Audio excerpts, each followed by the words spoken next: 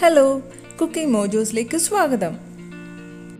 ഇന്ന് നമ്മളൊരു പായസത്തിന്റെ റെസിപ്പിയാണ് കാണുന്നത് നമ്മളിൽ കുറച്ച് പേര് എന്തായാലും ഈ പായസം കഴിച്ചിട്ടുണ്ടാവും. എന്നാലും ഇങ്ങനൊരു പായസത്തെ പറ്റി കേട്ടിട്ടില്ലാത്തവർ ഈ ഓണത്തിൽ ഇതൊന്ന് തീർച്ചയായും ട്രൈ ചെയ്ത് നോക്കണം. നമ്മൾ സാധാരണ കഴിക്കാറുള്ള ഗോതമ്പ് ദോശ വെച്ചാണ് ഈ പായസം ഉണ്ടാക്കുന്നത്. ഗോതമ്പ് ദോശ വെച്ച് ഇത്രയും ടേസ്റ്റി ആയിട്ടൊരു പായസം ഉണ്ടാക്കാൻ പറ്റുന്നത് ഒരു അതിശയം തന്നെയാണ്. ഉണ്ടാക്കാനും എളുപ്പമാണ് നല്ല ടേസ്റ്റുമാണ്. പായസത്തിലുള്ള ശർക്കരപ്പാനി ഉണ്ടാക്കിയത് ഞാൻ മുന്നൂറ് ഗ്രാം ശർക്കര വെച്ചാണ്. നിങ്ങൾക്ക് ഇഷ്ടമുള്ള മധുരം അനുസരിച്ച് ശർക്കരയുടെ എമൗണ്ട് കൂട്ടുകയും കുറയ്ക്കുകയും ചെയ്യാം. പായസത്തിനുള്ള ദോശ റെഡിയാക്കാൻ തുടങ്ങാം. അതിനായിട്ട് ഒരു കപ്പ് നിറയെ ഗോതമ്പ് പൊടിയാണ് എടുത്തിരിക്കുന്നത്. ഇതിൽ ആവശ്യത്തിന് വെള്ളവും ഉപ്പും ഇട്ട് നമ്മൾക്കൊന്ന് മാവ് റെഡിയാക്കി എടുക്കാം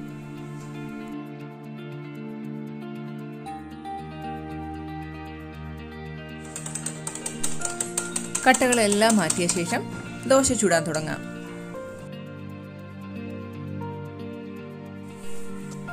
ദോശ ഉണ്ടാക്കുമ്പോൾ മൊരീച്ചെടുക്കണ്ട.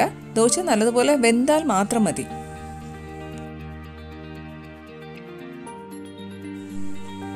ദോശ മറിച്ചിടുന്നതിന് മുമ്പേ ആ സൈഡിൽ കുറച്ച് നെയ് തടവി കൊടുക്കാം. ഇത് ദോശയ്ക്ക് നല്ലൊരു ഫ്ലേവർ തരും. എല്ലാ ദോശയും ഇതുപോലെ രണ്ട് സൈഡും വേവിച്ച് മാറ്റി വെക്കാം പായസത്തിനായി മുക്കാൽ കപ്പ് തലപ്പാലും മൂന്ന് കപ്പ് രണ്ടാം പാലും എടുത്തിട്ടുണ്ട്.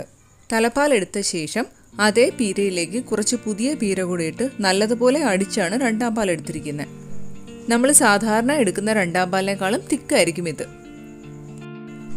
ഗോതമ്പ് ദോശയെല്ലാം നമ്മൾക്ക് ചെറിയ കഷ്ണങ്ങളായി മുറിച്ചെടുക്കാം. നമ്മൾ അടപ്രഥമനൊക്കെ ഉണ്ടാക്കാൻ അട വാങ്ങുമല്ലോ. ആ അടയുടെ സൈസിൽ മുറിച്ചെടുത്താൽ മതി. രണ്ട് മൂന്ന് ദോശ ഒന്നിച്ചു വെച്ച് മുറിച്ചാൽ വേഗം എല്ലാ ദോശയും കട്ട് ചെയ്ത് തീർക്കാൻ പറ്റും. നീളത്തിലുള്ള കഷ്ണങ്ങളെല്ലാം കൂടെ ഒന്നിച്ചു വെച്ച് ചെറിയ പീസസ് ആയിട്ട് കട്ട് ചെയ്തെടുക്കാം.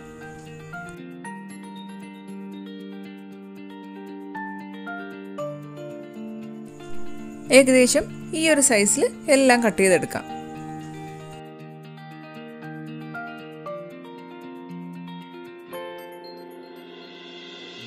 പായസത്തിലിടാനുള്ള നട്ട്സും തേങ്ങാക്കൊത്തും നെയ്യിൽ വറുത്തെടുക്കാം. ഇതിനൊന്നും പ്രത്യേകിച്ച് അളവൊന്നുമില്ല. നിങ്ങളുടെ ഇഷ്ടമനുസരിച്ച് എടുക്കുക. പായസത്തിൽ കിസ്മിസ് ഇടുന്നുണ്ടെങ്കിൽ അതും ഇതേപോലെ വറുത്ത് കോരിയ ശേഷം ഇട്ടാൽ മതി.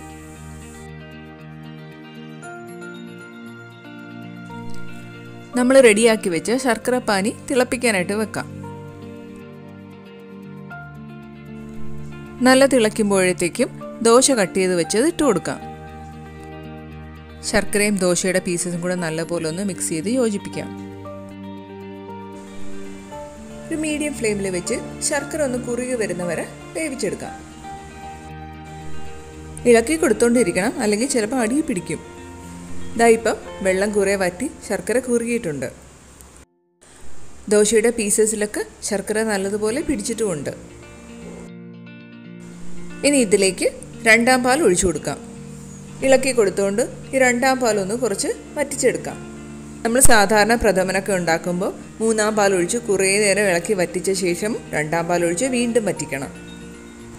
ഇവിടെ നമ്മൾ എടുത്തിരിക്കുന്ന രണ്ടാം പാൽ നല്ല കട്ടിയുള്ളത് കൊണ്ട് തന്നെ കുറി വരാൻ ഏകദേശം പത്ത് മിനിറ്റ് പോലും എടുക്കത്തില്ല. പായസം തിളയ്ക്കാൻ തുടങ്ങുമ്പോഴത്തേക്ക് മീഡിയം ഫ്ലെയിമിലേക്ക് മാറ്റാം. നമ്മൾ സാധാരണ പായസം ഉണ്ടാക്കണ പോലെ തന്നെ ഇളക്കി കൊടുക്കണം. നമ്മൾ ഇനി ഇതിലേക്ക് ഇടുന്ന പഴം ഈ പായസത്തിനൊരു പ്രത്യേക ഫ്ലേവർ തരും. പൂവമ്പഴത്തിനേക്കാളും എപ്പോഴും ടേസ്റ്റ് പാളയംകുടൻ പഴുത്ത പഴം എടുക്കുമ്പോഴാണ്. അതിലുള്ള ആ പുളിയും മധുരവും നല്ലൊരു ഫ്ലേവറാണ് തരുന്നത്. കുറച്ച് പായസം ഉണ്ടാക്കുമ്പോൾ ഒരു മുഴുവൻ പഴത്തിന്റെ ആവശ്യമില്ല. ഇതിൽ നിന്നൊരു ചെറിയ കഷ്ണം ഞാൻ മാറ്റുവാണ്. പഴം കൈവച്ച് നല്ലതുപോലെ ഞെരടണം. കട്ടിയുള്ള ഒരു പാത്രമാണ് ഉപയോഗിക്കുന്നതെങ്കിൽ പായസം അടിയിൽ പിടിക്കുന്നത് ഒഴിവാക്കാൻ സാധിക്കും. ഇതാ പായസം ഇപ്പം കുറുകി വന്നിട്ടുണ്ട്. ഇനി തീ ഏറ്റവും കുറച്ച് വെച്ച ശേഷം ഞെരടി വെച്ചിരുന്ന പഴം ഇട്ട് കൊടുക്കാം. നല്ലതുപോലെ ഒന്ന് ഇളക്കി കൊടുക്കാം. തലപ്പാൽ ഒഴിച്ചു കൊടുക്കാം. തീ ഒട്ടും കൂട്ടണ്ട. തലപ്പാൽ തിളയ്ക്കാതെ ശ്രദ്ധിക്കണം. ഏലക്ക പൊടിച്ചതും വറുത്ത നട്ട്സും തേങ്ങാക്കൊത്തും ഇട്ട് കൊടുക്കാം. കുറച്ച് നെയ്യ് കൂടെ ഒഴിച്ച ശേഷം ഗ്യാസ് ഓഫ് ചെയ്ത് കൊടുക്കാം. അവസാനം കുറച്ച് നെയ്യ് ഇട്ടാൽ പായസത്തിന് നല്ലൊരു ഫ്ലേവർ കാണും. പായസം എന്താ? റെഡി ആയി കഴിഞ്ഞു നല്ല ടേസ്റ്റാണ് ഈ പായസത്തിന് നിങ്ങൾക്ക് ഉണ്ടാക്കുമ്പോൾ മനസ്സിലാകും. പുതിയ റെസിപ്പിയുമായി നമ്മൾക്ക് വീണ്ടും കാണാം. താങ്ക്